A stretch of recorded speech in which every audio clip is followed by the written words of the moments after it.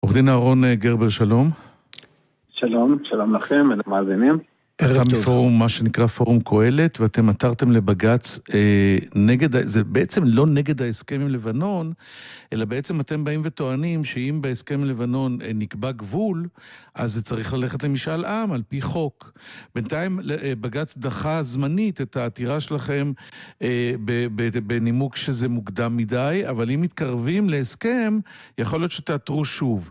למה בעצם אה, זה כל כך חשוב לכם? הרי לא מדובר שם בטריטוריה, התנחלויות. תשתיות, אה, מעברים, כבישים, יידוי אבנים, מדובר שם באוצרות טבע בים, במים כלכליים. נכון, אה, באמת, אה, אני רק אדייק את הפתיח, באמת חוק יסוד משאל עם הוא חוק חדש. והמערכת אולי עדיין לא התרגלה אליו, וזו בעצם הפעם הראשונה שיש יסוד לטעון שבעצם החוק הזה צריך להיות מופעל. החוק חוקק, זה חוק יסוד שחוקק ב-2014, והחוק קובע שאם מדינת ישראל האם הממשלה רוצה לאשר הסכם או לחתום על הסכם שלפיו המשפט, השיפוט והמינהל של מדינת ישראל לא יחולו על שטח שהוחל בו כיום. הדבר הזה מחייב קודם כל מעבר בכנסת, אה, שרוב של 61 יצביע בעד, ולאחריו משאל עם, אלא אם כן 80 חברי כנסת תמכו אה, בהצעת ההחלטה, ואז אין צורך ללכת למשאל עם. עכשיו, ההסדר הזה שהוא חוקק ב-2014, בעצם המערכת לא רגילה אליו. עד היום כל מיני הסכמים, לפעמים כן העבירו אותם אחרי שהממשלה אישרה אותם, העבירו אותם בכנסת, אבל אה, לא ברור שיש חובה חוקית אה, להעביר אותם. אבל עכשיו המצב משתנה.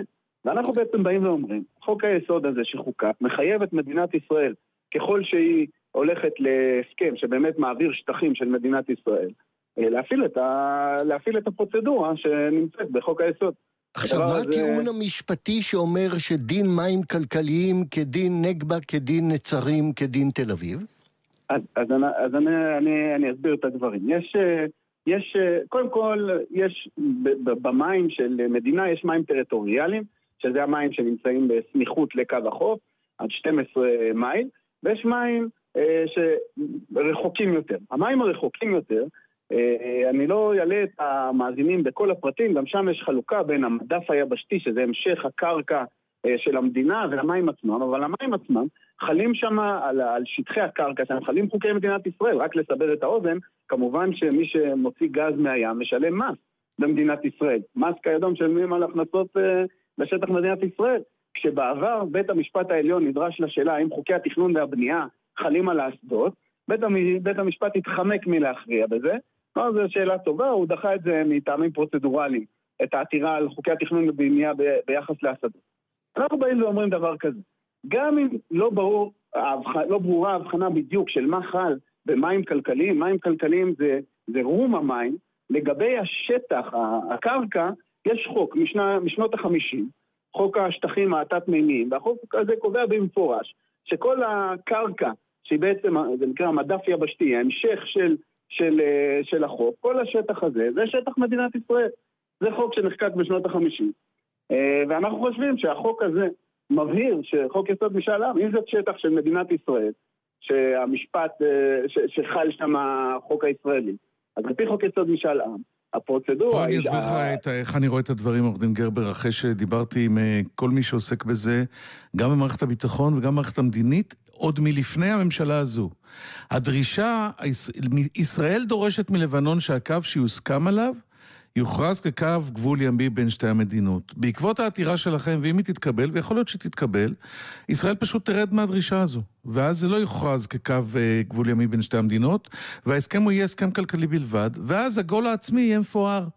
כי במקום אה, לרשום פעם ראשונה אה, קביעת קו גבול, אמנם ימי חסר משמעות טריטוריאלית אמיתית, עם מדינה ערבית, מאז הסכם השלום עם ירדן, הטרלה נוראית לחיזבאללה, הסכם חתימה, והכל אני מדגיש, במים כלכליים, עזוב רגע את החוק הישראלי, בעולם, המים הכלכליים זה לא טריטוריה, אתה לא מקים שם יישוב.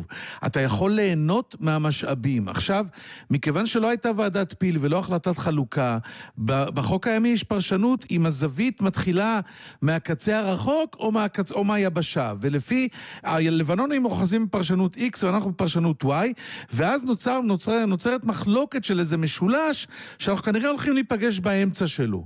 אבל, כאילו, אבל אין כאן איזה ויתור עכשיו... על, איזה, על איזה קבר רחל או וואטאבר, ולכן אבל... אני חושב שההתעקשות שלכם היא סתם דווקנית, שתגרום לנו נזק.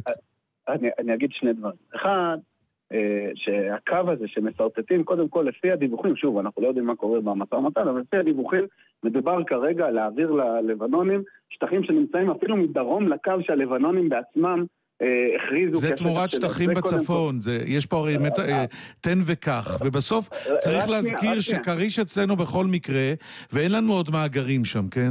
לא, יש שם, למה? יש שם, כל הוויכוח הוא בגלל שיש מאגר. מאגר כהנא שהוא נכון, בצד הלבנוני. לא כולו. נכון. חלקו נמצא מדרום לשטח שגם הלבנונים בעבר אמרו שזה הקו הגבול שלהם. והחברה הצרפתית תעשה ביי מי אאוט לישראל, ובסוף זה ההבדל שהוא בארבעה אחוז. הוויכוח הוא על כן, ארבעה אחוז ממאגר כאן. אתם שניכם מתעלמים מהעובדה שאנחנו עושים את זה תחת איום חיזבאללה, כלומר סחיטה. וזה שורש הרע, זה שורש הצרה. אריה, אנחנו לא עושים שום דבר תחת איום חיזבאללה, המשא לא, ומתן הזה כבר הוא ארבע לא, שנים.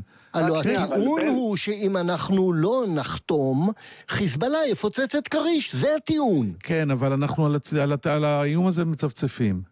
לא. המשא ומתן, הפוך, אם אנחנו לא נחתום, אז נכנענו לחיזבאללה. לבנון רוצה את ההסכם, ישראל רוצה את ההסכם, כל גורמי המקצוע, גם הביטחוניים וגם הלא ביטחוניים, חושבים שההסכם חשוב, ואם אנחנו אה, נחתום עליו, אז אה, לא נחתום עליו, נכנענו לחיזבאללה.